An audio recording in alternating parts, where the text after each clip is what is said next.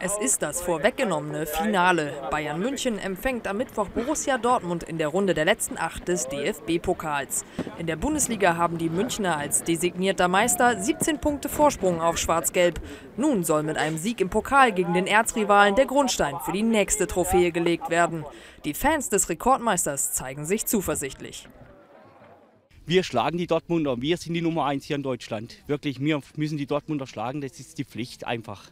Ja, ich denke, Dortmund ist zwar die schwerste Mannschaft, also der schwerste Gegner für Bayern. Aber in der Form, wo sich Bayern gerade befindet, denke ich mal, können wir jeden schlagen. Der DFB-Pokal hat nicht den Stellenwert von der Champions League, aber ich denke, ist schon enorm wichtig auch für Selbstvertrauen. Gerade gegen Dortmund, wo man jetzt ein paar Mal verloren hat. Seit sechs Bundesliga- und DFB-Pokalspielen sind die Dortmunder gegen den Rekordmeister und Pokalsieger nun ungeschlagen. Doch die Westfalen wissen, dass es am Mittwoch schwieriger denn je wird. Die Überlegenheit der Bayern ist seit Wochen beeindruckend und soll den BVB zu eigenen Höchstleistungen anspornen.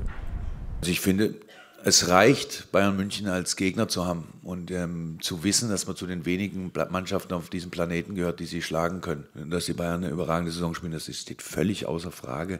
Und trotzdem ist dieses Spiel nicht entschieden im Vorfeld.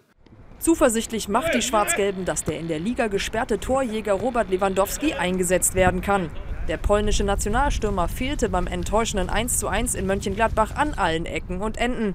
Entsprechend formuliert Klopp die Marschroute ganz im Stile eines Titelverteidigers. Das ist für uns von der, von der Qualität des Gegners her, aber natürlich auch von, von der Herangehensweise, ist es wie ein Champions League Auswärtsspiel. Das muss man klar sagen. Also es gibt ja wenige Mannschaften in Europa, die möglicherweise besser sind als Bayern München, aber es gibt schon ein paar, die auch nicht so schlecht sind. Und ähm, einige davon haben wir schon getroffen. Und ähm, die hatten auch schon mehr Spaß als an dem Tag, an dem sie gegen uns spielen mussten. Spaß haben wird in jedem Fall ganz Fußball-Deutschland beim Gigantenduell. Die Bayern wollen das vorweggenommene Finale nicht zuletzt dazu nutzen, um die 2 zu 5 Schmach aus dem Endspiel des Vorjahres vergessen zu machen und ihren Status als neue Nummer 1 zu unterstreichen.